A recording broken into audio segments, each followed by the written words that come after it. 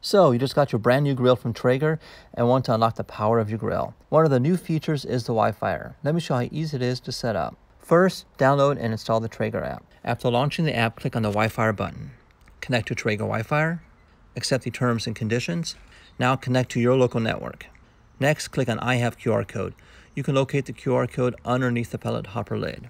Now enter the super secret password of your local Wi-Fi.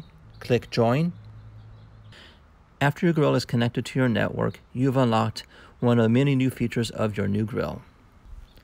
Now let's give our grill a name.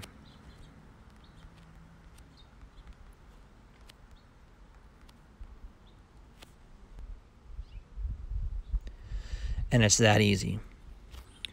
The Traeger app has thousands of recipes at your disposal, allowing you to control and monitor your cook from almost anywhere with your smartphone. Make sure to check out Traeger's new product release on March 15th.